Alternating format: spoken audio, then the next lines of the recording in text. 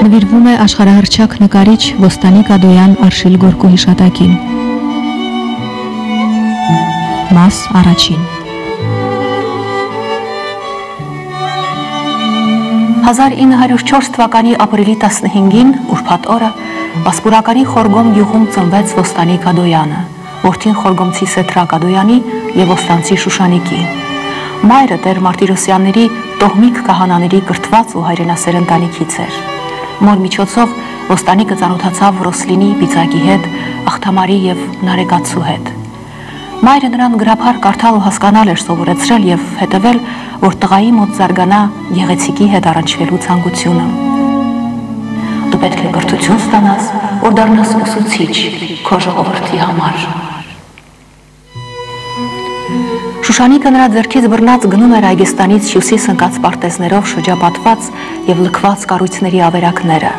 Այնտեղից լավ էր երևում Վարագասարը, Վանալիճը, Այգեստանը եւ քաղաքը։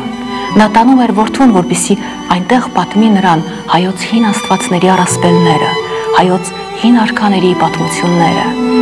Իսկ երբ մայրամուտի հրդեհը ծածկում էր երկնակամարը եւ ամեն կենթանի արարած, կարկամած այդ հրացոլքից լռում էր երեկոն այնքան խաղաղ ու գեր իրական էր դառնում,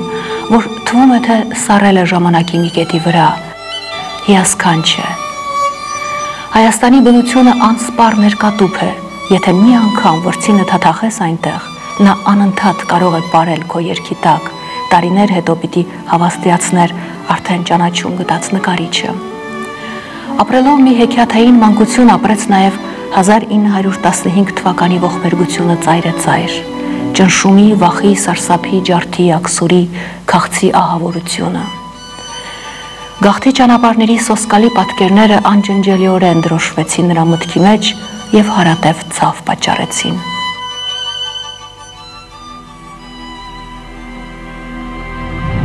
Մայրս, Ոստանիկը քույրերս եւ ես 1915 թվականի հունիսի 15-ին ճանապարհ ընկանք Վանից։ Մենք մեր արժեքավոր իրերը թաղել ենք տամբակում։ Կարծում ենք վերադառնալու ենք։ Կարծես ամեն ինչ աչքիս արջև լինի։ Արևը բարձրացավ Տիրամար եկեղեցու կողմից։ Բոլորը ներս էին մտնում, աղոթում եւ շարունակում ճանապարհը։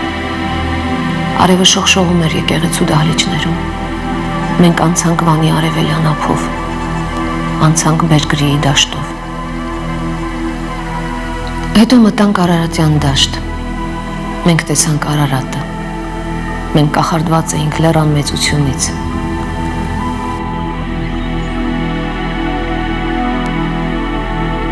Հունիսի 25-ին հասանք Էջմիածին։ Իգդիրից Էջմիածին Անդրանիկի զինվորները մեզ ուղեկցեցին։ Մենք Էջմիածնի մասին շատ էինք լսել։ Երջանկություն էր լինել այնտեղ բայց բոլորի տները լիքն էին գաղթականներով եւ համաճարակ էր։ Երեք շաբաթ մնալուց հետո գնացինք Երևան։ Մենք սենյակ գտանք միլիոնուլից 14 հասցեում։ Հետո տեղափոխվեցինք Բազարնայա փողոցի 39 տունը։ Աշխատանք չկար։ Մայրս պատահական գործեր էր անում։ Հետո աշխատանք գտավ որփանոցում։ Ոստանիկը սկսեց աշխատել Աստաֆյան փողոցի տպարանում։ Հետո տեղափոխվեցինք Կատանովսկի փողոցի 18 տունը, որտեղ մնացինք մինչև 18 թվականի օգոստոսը։ Ոստանիկը գրքեր էր տուն բերում կազմելու, որ մի քիչ ավելի վաստակի եւ կարդում էր այդ գրքերը։ Տունը ոսկորից գեղեցիկ սանրեր էր սարքում եւ վաճառում էր։ Հետո լուր տարածվեց, որ քաղաքացիական պատերազմ է սկսվում։ Մենք պատրաստվեցինք ոդկով մեկնել Թիֆլիս։ Ճանապարհը քանակերով էր անցնում քաղաքից 20 կիլոմետր հեռու Շահաբ գյուղի մոտ մայրս շատ վատացավ։ Եվ հետո նա չէր ուզում թողնել Հայաստանը։ Մենք մնացինք Շահաբ գյուղում մինչև դեկտեմբեր։ Գրեթե ուտելու բան չկար եւ ոստանիկը մայրիկին ու ինձ մի կերպ հասցրեց Երևան։ Մենք մի հին թաղամասում գտանք ավերված մի տուն, որը կիսով չափ առաստաղ չուներ։ Մայրս ծանր հիվանդ էր սովահարությունից, որովհետև իր բաժինն էլ միշտ պահելու մեզ էր տվել։ 14 տարեկան տղայի ուսերին ծանր բեռ էր ընկել։ Ձմեռը եկավ։ Սարսափելի էր։ Հետո առաստաղը սկսեց կաթել։ Ամեն առավոտ նախքան աշխատանքի գնալը ես եւ ոստանիկը մորս դնում ենք լուսամուտի լայն գոքին, որ չթրջվի կաթոցքից։ Մարտի 29-ն նա մեռավ։ Խոտը նոր էր սկսել աճել։ 1919 թիվն էր։ Մենք նրան նորից տեղավորել էինք լուսամուտին եւ նա ոստանիկին նամակ էր թելադրում Ամերիկայում ապրող մեր հորը, որը 1908 թվականին գնացել էր Վանից խուսափելու համար թուրքական բանակից։ 1919 թվական Քաղաք Երևան Բարև Սեթրակադոյան Դու հեռացար մեզանից փոխանակ զենքը ձեռքիդ պաշտպանեիր տունդ եւ քեզ։ Հերացար մինչև Ամերիկայի Պրովիդանս քաղաքը։ Ֆիդայի քաջերի պես չբարձրացար լեռները Սեթրակադոյան։ 1915 թվի մասին դու Պրովիդանս քաղաքում իմացար։ Ասեմ քեզ, որ քո 11 տարեկան ոստանիկ որդիդ Վանի պաշտպաններին միշտ զենք ու հաց է հասցրել, որտեղ պետք է եղել կրակել է։ Ես երբեք չեմ կարող թողնել Հայաստանը եւ Ամերիկա գալ։ Սա մեր հողն է։ Եվ շուտով մենք վան կվերադառնանք։ Որովհետեւ կանչում է կրկին, կանչում անդադար, են չքնախ երկրի կարոտ անքուն։ Ու թևեր նա փռած տիրաբար, թրջում է հոգիս, թրջում դեպի տուն։ Ուր որ հայրենի օջախի առաջ վաղուց կարոտով սպասում են ինձ։ Այս տողերը թելադրելիս նա հանգավ։ Ոստանիկի համար նա մի աստվածուհի էր, որն այլևս չկար։ Նա անընդհատ ամբողջ հոգով նրան նկարում էր Ամերիկայում։ Նա ոստանի գեղեցիկ կինն էր, շատ գեղեցիկ։ Նա միշտ մեզ համար բանաստեղծություն էր կարդում եւ ստիպում էր սիրել բնությունը, Հայաստանը, Վանը։ Մայրս ոստանիկին արտիստ դարձրեց։ Մորս աչքերը։ Նա իր ոստանիկի նկարներին։ Նրա դիմանկարներում Վանի աչքերն են։ Այդ դիմանկարները մի օր մորս անմահություն կբերեն։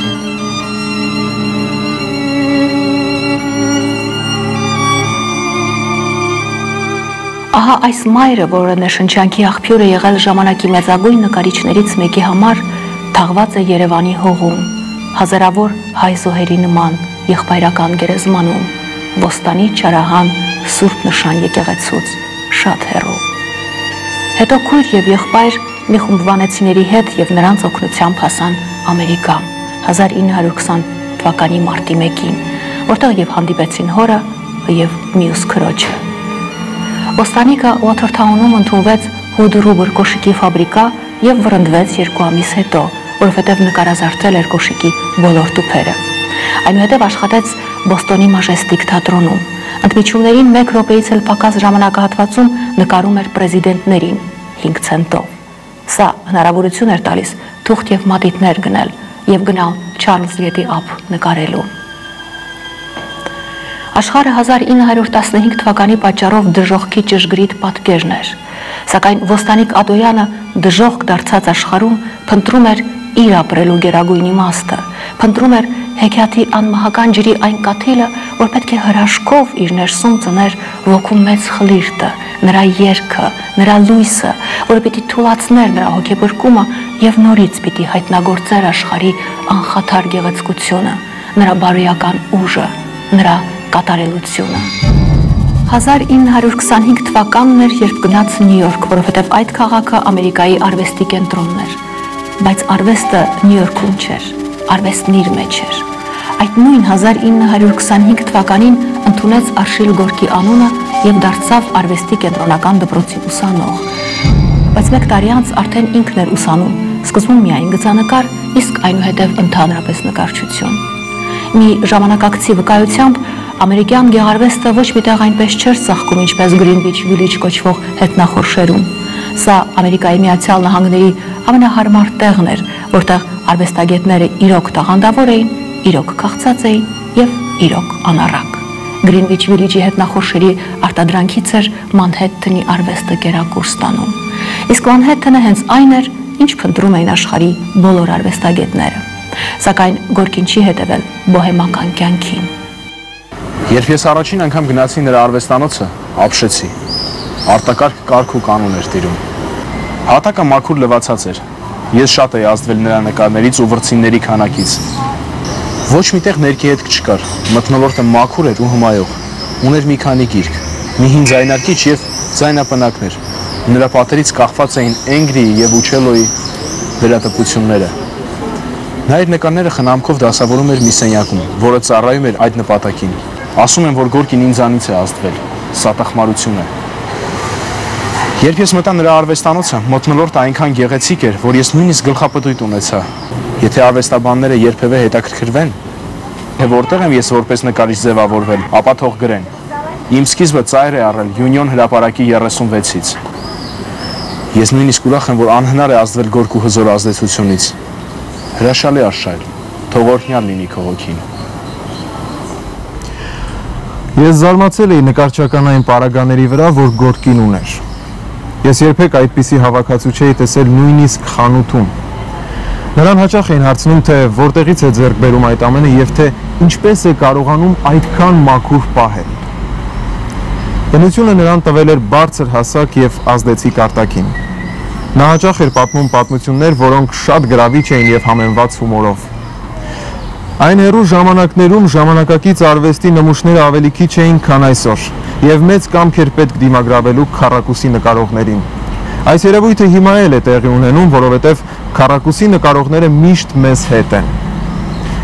Բայց ես Գորկուն ընդունում էի որպես տաղանդավոր նկարչի, որն ապրում էր զարգացման process։ Մեկը, որ բավական մտածողություն ու էներգիա ունի, կկարողանա իր ճանապարհը գտնել մեր ժամանակների անընդհատ փոփոխվող գաղափարների քաոսում։ Գորկին գտնում էր, որ նկարչություն ուսումնասիրելու եւ սովորելու լավագույն միջոցը թանգարաններում լինելն է։ Մետրոպոլիտեն թանգարանում իրեն զգում էր ինչպես տանը։ Նա մի թանգարանից մյուսն էր գնում եւ մեզ իր աշակերտներին երբեմն տանում հետը։ Մենք թափառում էինք դահլիճից դահլիճ։ Երբեմն նա կանգնում ու երկար նայում էր որևէ նկարի։ Հետո շրջվում էր դեպի մեզ ու ասում. Արդյոք այս նկարները մեծ համբերության ու աշխատանքի արդյունք չեն, որոնք անհրաժեշտ են նույնիսկ հանճարին։ Մենք չէինք ընդունում իմպրեսիոնիստներին եւ անհաջող փորձ էինք անում մեզ դնել նրանց լուսավոր ապագայի մեջ։ Բայց Գորկին ասում էր. նրանք ապստամբեցին խավարի դեմ։ Վերածնունդը հայտնաբերեց լույսն ու ստվերը, իսկ 19-րդ դարը անստվեր լույսը։ Մորկին սիրում էր, որ նկարը հարթ լինի։ Թանդրությունը առաջին շրջանի նկարներում շատ կարևոր էր նրա համար։ Նա սիրում էր շերտ առ շերտ ներկը գցել, ապա սրիչով կերել եւ փայլեցնել։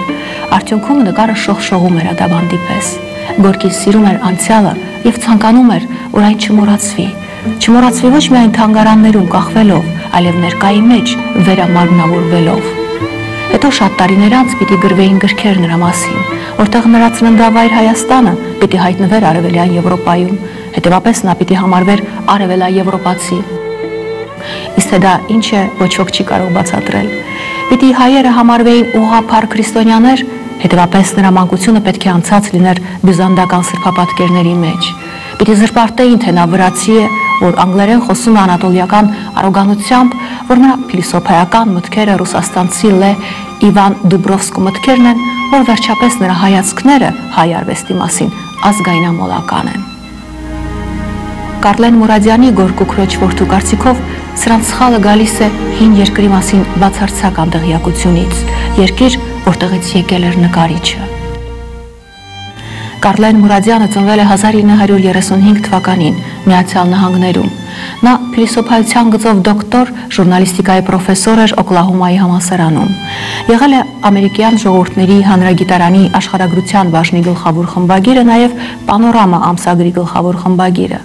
Միշտ մասնակցել է համաշխարհային սեմինարների, որտեղ ներկայացրել է միջազգային հաղորդակցության վերաբերյալ ֆունդամենտալ ուսումնասիրություններ։ Գրքեր է գրել Գորկի Ադոյանի մասին անգլերեն լեզվով Գորկու անձին եւ արվեստին նվիրված նրա ուսումնասիրությունները ոչ միայն պատմում են մեծ նկարչի մասին, այլև պարունակում են հարուստ տեղեկություններ մեր հնագույն ժողովրդի մասին։ Աշխարհն այդ գրքերով կարող է շատ բան իմանալ հայ ժողովրդի բազմահազարամյա հանճարի վերաբերյալ, որից անտեղյակ է։ Գորկի Ադոյանի արվեստին նվիրված իր ուսումնասիրություններում Կարլեն Մուրադյանը կրահել է, որ ամերիկյան քննադատները դիտավորյալ, միտումնավոր բացառել են Գորկու արվեստի մեջ հայկականության դրսևորումը։ Գորկին իր մի նամակում գրում է. Վերջերս Հայաստանի հուշերը պաշարել են ինձ։ Աշխատում եմ մի նկարի վրա, որ մեր տան հիշողությունն է։ Ես ձգտում եմ ձեռք բերել ազատ բանականություն։ Մեր երեք տները միավորված մեր կարմիր-կարմիր մրգատու այգիներով եւ ծիրանի ծառերը, որ բնության բանաձևեր են, եւ նկարիչը, որն այդ բոլորը դարձնում է իր սեփականը, ղեկավարելով նրանց,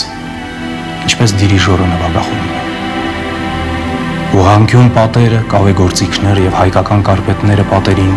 փորձում են որոշակի եզր գտնել մեր ցորենի արտերի հետ, գույնես գույն կտորներով զարդարված մեր սրբազան ծառի հետ եւ հայոց կռունկների ու պարտեզի քարերի հետ։ Այս բոլորը տարածվում են մեկը մյուսի մեջ եւ ներդրվում տիեզերքի անընդհատ շարժման մեջ, ինչպես կյանքը սնողարյունը, որը հոսում է մարդու երակներում։ Աստվածներ Աստծուց առաջ, միտք Աստվածներից առաջ, սկիզբ, սկզբից առաջ Այս բոլորը նրբորեն ամբողջացված հայաստանյան փնջի մեջ, որն է խորգոմը։ Համայն աշխարհը մանրանկար չափերի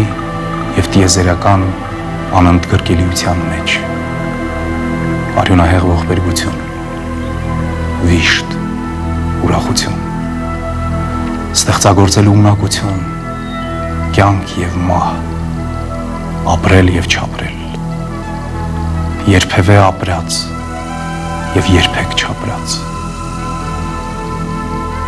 Այս բոլորը ընդգրկող տաք երկիրը եւ արևով լեցուն վասպուրականի լեռները։ Եվ սա զննում է աչքերը նոր բացած երեխան։ Ես տեսել եմ մեր աշխարհի կոթողները։ Ես շոշափել եմ դրանք իմ մատներով եւ իմ սրտով։ Եվ սիրտս ամենասուր ցավն է զգացել Այդ հուշարձանները պահպանել են հիասքանչ բնականության հանելուկային կենարարությունը։ Ես ինքնուրույն փորձել եմ այն, ինչ նրանք հին վարպետներն են փորձել։ Ես ինքս տեսել եմ այն, ինչ նրանք են տեսել։ Ես ինքս զգացել եմ այն, ինչ նրանք են զգացել։ Որովհետև իմ նկարների եւ նրանց դիմականդակների միջև ընդհանուր էության կապ կա։ Ես կատարելագործել եմ իմ նկարները, մեխանիկորեն տալով նրանց ֆիզիկական ուժ, համառ համամասնություն, հիասքանչ Տիգրիսի և եպրատի ողբալի երկերը, նրանց պղտոր ջուրը խմողները, վշտից ծծված որպերի երակները, մահերի մահը, մեր աստվածուհի մոր սովահարությունը և երեխան որը տեսել է նրա գեղեցկությունը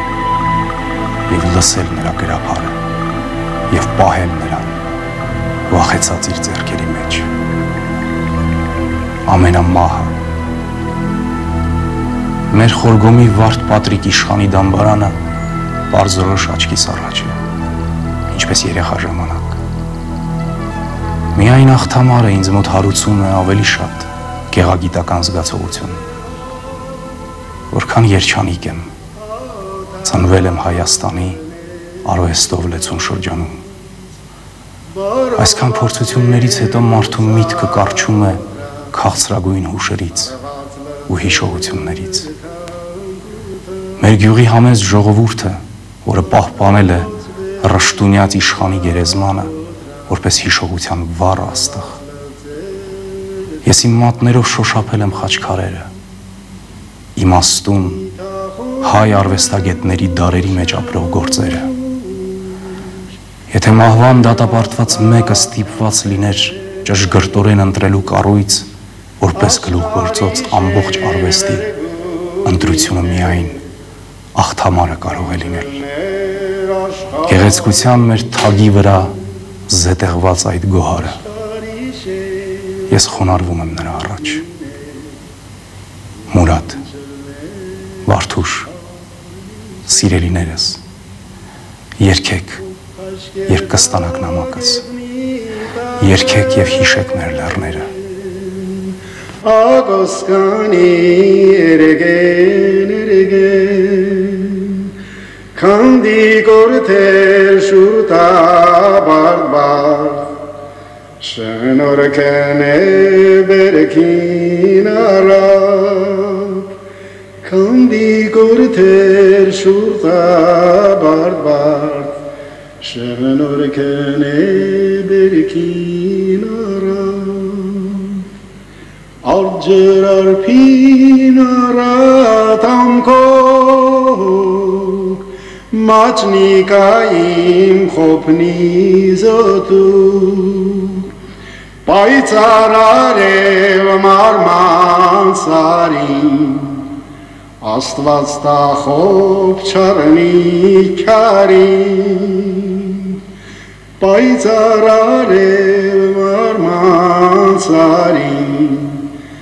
Աստված տախոք չարնի քարին Խոսելով Հայաստանի մասին Հարոլդ Ռոզենբերգն ասել է. Ով է լսել հայկական Միքելանջելոյի եւ Վատոյի մասին։ Ռոզենբերգը ցուցաբերել է իր տգիտությունը, ասելով, որ մեր արվեստը նշանակություն չունեցող արվեստ է եղել։ Նա պարզապես հեշտացրել է իր գործը, անծանոթ լեռները փոխարինել է ծանոթ դաշտերով։ Քննադատները գիտակցել են, որ Աշիլ Գորկին բացառիկ է, բայց քանի որ անծանոթ են եղել նրա ժառանգությանը, չեն կարողացել վերլուծել նրա արվեստն արժանվույն եւ նկարչին դիտել են եվրոպական եւ ամերիկյան գաղափարներով։ Նրանք պատտվել են իրենց ծանոթ տերմինների շրջանակներում։ Իբր կարմիր գույնը Սեզանից է, նրա դիվանկարների աչքերը վերցված են Պիկասոից, կտավի հիմքը գիծը արաբա-իրանական ցակում ունի, իսկ անցնող գիծը միրոյական է։ Ողբերգական թեմաներն էլ բյուզանդական կամ ռուսական։ Գորկին ինքը գտնում էր, որ պետք է ուսումնասիրել այդ քննադատների ազգագրական եւ մշակութային ֆոնը, նրանց կրթության չափը եւ տնտեսական վիճակը։ Ինչու են դարձել քննադատ։ Ով է նրանց վճարում եւ որքան։ Ովքեր են նրանց տպում, ինչ որակավորում ունեն, որովհետեւ մինչեւ քննադատները գիտակ չդառնան, այդպեսին չի դառնա ժողովուրդը։ 1926 թվականից սկսած Գորկին նկարում է դիմանկարներ։ Նկարում է ընտանիքի անդամներին, հատկապես մորը, Շուշանիկին եւ քույրերին, Ագապիին եւ Վարդուշին։ Վաղ շրջանի դիմանկարներում անգամ հասունությունն արկա է։ Գորկու դիմանկարչության ամենացայտուն արտահայտությունը հայկական աչքերն են, որոնց մասին ասել է. նրանք խոսում են նախքան շրթունքների շարժվելը ու դեռ երկար շարունակում են խոսել, երբ վաղուց դադարել են խոսել շուրթերը։ Մորս աչքերը նրանք պիկասոյական էին համարում, իսկ հայոց տխրությունը բյուզանդական կամ ռուսական։ Եվ երբ ես նրանց ուղում եմ,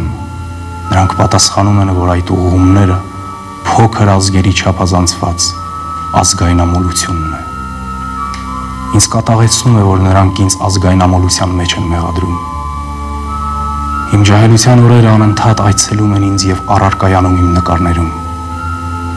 Քննադատները սա նեղմտություն են համարում, բայց սա համապարփակություն է։ Շատ ժողովուրդներ մեծապես կշահեին, եթե ունենային այդ հնարավորությունը։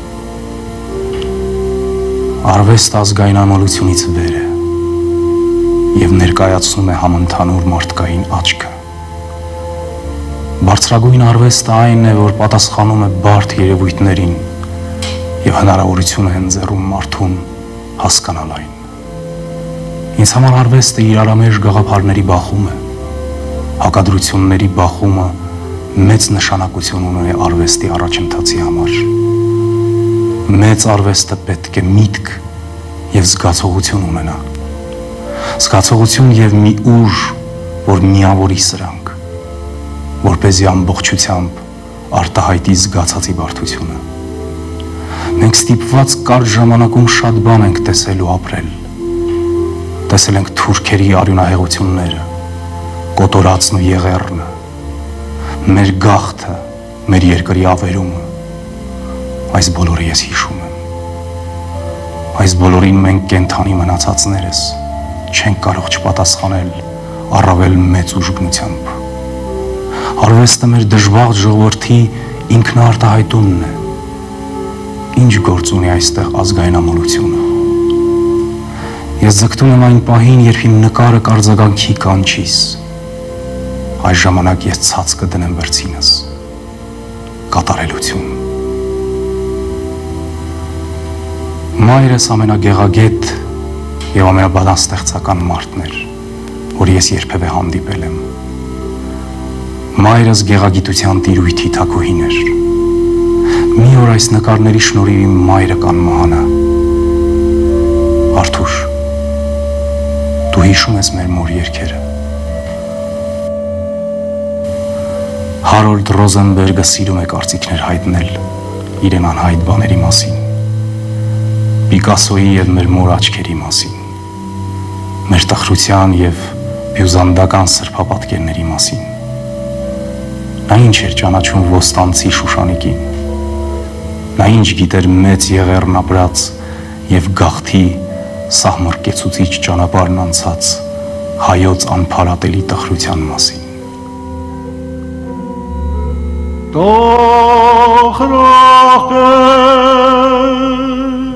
Այս նկարը կոչվում է Յարգյուլը։ Նրա բոլոր ընկերները եւ աշակերտները վկայում են, որ նա սիրում էր նկարելիս երգել իր ժողովրդի երգերը։ Նա երգել է նաեւ այն ժամանակ, երբ փորձել է շրջապատին հասկացնել, թե որտեղից է ստանում իր ողջավորությունը։ 1930 թվականի ապրիլին Նյու Յորքի ժամանակակից արվեստի ցուցասրահում ցուցադրվում են Գորկու մի քանի գործերը։ 30-ական թվականներին ավարտում է Գիշեր գախնիկ հայրենադարձություն շարքը, որոնք հիշողություններ էին Հայաստանի մասին, ուր միշտ երազեց վերադառնալ, սակայն իր մահկանացուն կնքեց հերավոր եւ օտար մի երկրում, տարապելով հայրենաբաղձություն կոչվող հիվանդությամբ եւ կարոտախտի ամբուժելի ցավով։ 30-ական թվականներին Գորկին ավարտում է ներդաշնակություն եւ քարյակ շարքերը։ 1934 թվականին Ֆիլադելֆիայի Մելոն սրահում բացվում է անհատական առաջին ցուցահանդեսը։ Հաջորդ ցուցահանդեսը 1 տարի անց 1935 թվականին բացվեց Նյու Յորքի Գիլդ արվեստի թանգարանում։ Այս ցուցահանդեսի կապակցությամբ քննադատ Քայսլերը գրեց. «Սա կովկասյան ոգի է, որն Ամերիկային ստիպեց զգալ»։ Նրա քննադատական բանականությունը փնտրում է Պիկասոյի եւ Միրոյի բուն էությունը։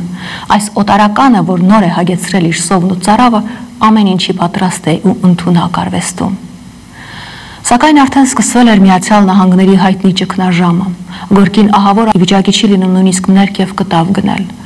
Այդ շրջանում նա միշտ գրեթե նկարում էր գրիչով եւ թանակով եւ երբեմն էլ մատիտով։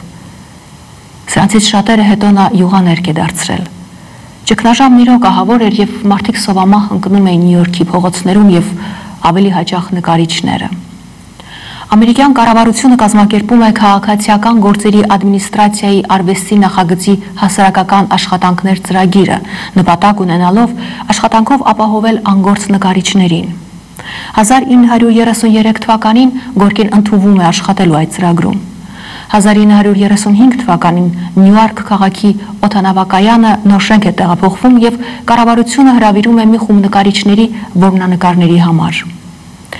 Ընդունվում է թանգարանում ցուցադրված Գորկու էսքիզը եւ նա էլ կատարում է այդ աշխատանքը։ Մի սերունդ հետո այս որմնանկարները կորսվում են։ Հետեսետե նրանց վրա 14 շերտ գաչ եւ ներք է հայտնվում։ Իսկ 1966 թվականին Ուտբաումանի ջանքերով կառավարությունը միջոցներ է հատկացնում այն գտնելու եւ վերականգնելու համար։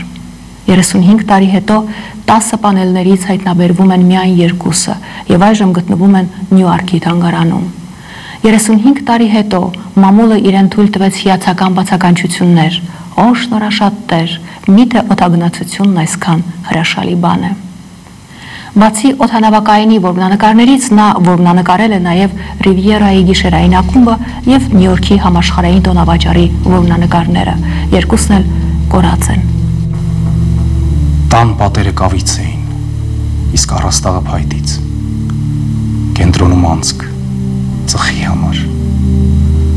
Տարվա բոլոր եղանակները իրեն զգացնել էին տալիս։ Անցքից իջնում էր փայտե խաչ,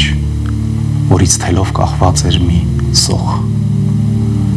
Սոխի վրա խրված էին 7 փետուր, դրանք շաբաթվա 7 օրերն էին։ Այս կախված առարկաներից, փետուրից եւ սոխից ես առաջին անգամ հասկացա սովորականը անսովորի վերածելու հրաշքը։ Այս պատահական անկարգությունը հեքիաթ էր. իրականության շղթումով իրերը իրենց սովորական տեղից հանելով ստեղծվում է մի նոր իրականություն. Այսօրվա նկարիչը գործում է իր կտավի տարածության մեջ քանդելով տրոհելով մակերեսը մինչև որ կհասնի իր ամբողջության իրականացմանը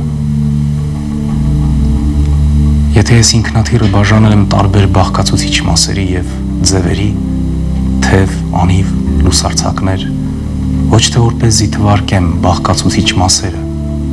այլ պատի տարածության վրա տամ օթագնացության խորհրդանշանները։ Այդ խորհրդանշանները միշտ անփոփոխ կմնան, որքան էլ փոխվի ինքնաթիռի տեսքը։ Նյույորքի օթաչուները ուրախությամբ ընդունեցին այդ որմնանկարները։ Նրանք ասում էին, որ իրենք ոչինչ չեն հասկանում արվեստից, բայց նկարներն իրենց դուր են գալիս։ Դրանք հիշեցնում են գեղեցիկ բաներ, որոնք տեսել են վերևում։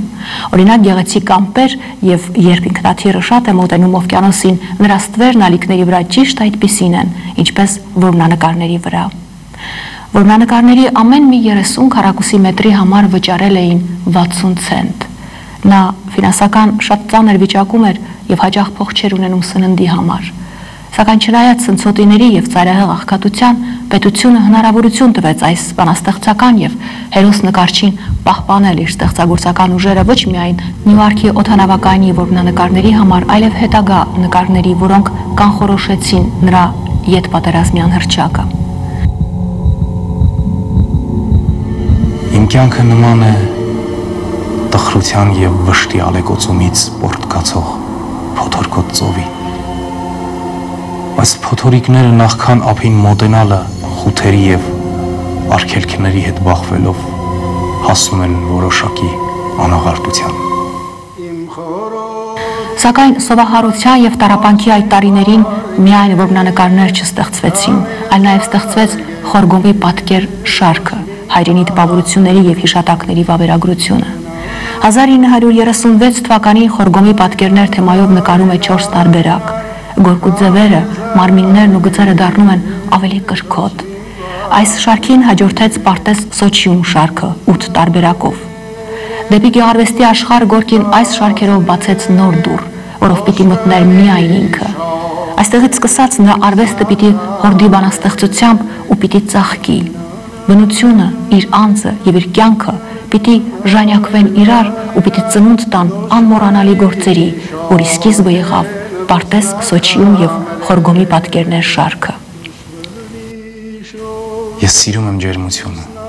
հապկությունը, ուտելին, անուշահամությունը, մարդու երգը։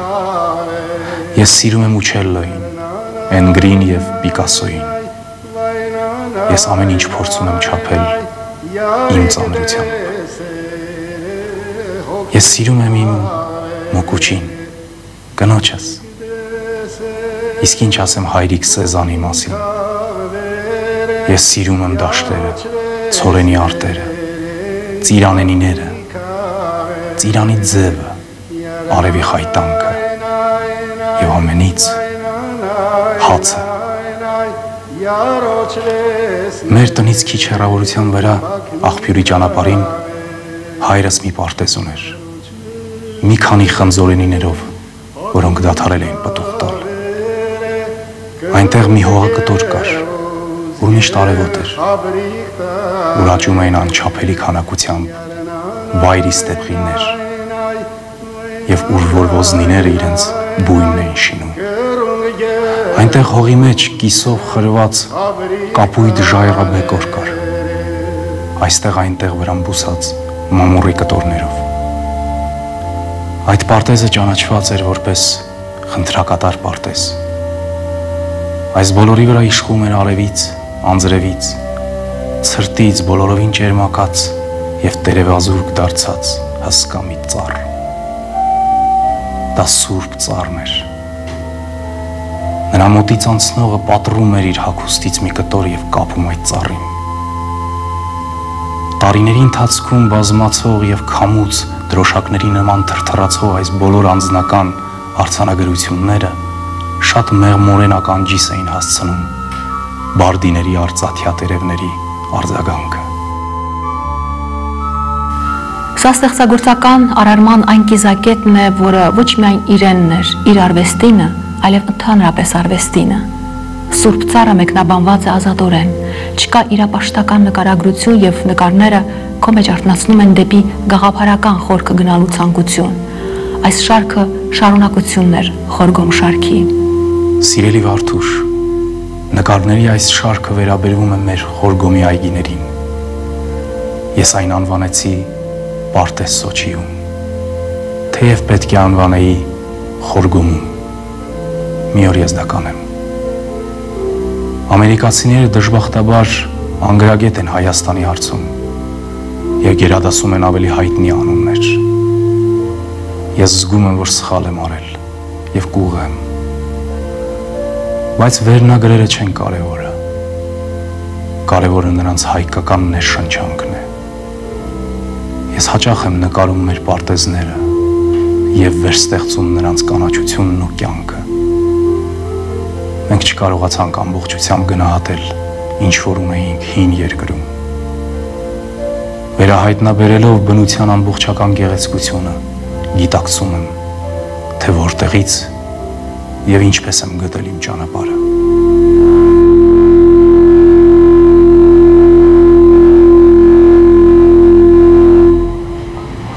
Ամեն մարդ ունի իր ոճը։ Նրա ոճն այնպես է, որ կասկածի տեղիք չի տալիս։ Դա դա մեծ մարդու ոճ է։ Գորկին շատ մեծ նկարիչ է։ Նա միլիոն անգամ մեծ է այսօր։ Գորկին կապոխողակ է մեր եւ համաշխարհային արվեստի միջև։ Գորկին ամերիկյան նկարիչներից լավագույններից է։ Նա միշտ կպահի միջազգային մակարդակի իր համբավը։ Ճիշտ ասած, ես չգիտեմ, թե հիմա աշխարհն ինչի նման է եւ առհասարակ չգիտեմ նույնիսկ թե աշխարհը որևէ մակարդակ ունի թե ոչ, բայց իմ կարծիքը սա է։ Գորկին բոլորից մեծ է եւ կարեւոր։ Պատերազմի առաջին տարում նրա աղքատությունը ծայրահեղության հասավ։ Նա շատ էր աշխատում, առավոտյան 7-ից մինչև երեկոյան 7-ը։ Արտակարգ շատ էին արդեն նկարները, բայց գնող չկար։ Նա գնաց արվեստի կենտրոնական դպրոց նորից դասեր վերցնելու համար։ Խորհուրդ տվեցին մի քիչ սպասել, մինչև լուծվի նորակոչիկների հարցը։ Վարդուշ, սիրելիս, շատ եմ ուզում սրանից մի բան ստացվի։ Կյանքն անտանելի է դառնում։ Իմ մասին մի մտածիր։ Սա նորություն չէ ինձ համար։ Այս ցանը ժամանակ էր, երբ նա հանդիպեց Ագնես Մագրուդերին։ Գորկին արդեն մեկ անգամ 1935 թվականին եղել էր ամուսնացած։ Նա այդ ժամանակ հանդիպել էր Մարնի Ջորջին, որը միջին արևմուտքից էր եւ եկել էր Նյու Յորք արվեստ ուսանելու։ Գորկի սկսեց նրան սիրահետել եւ շուտով ամուսնացավ, բայց այս մասին հաջորդիվ։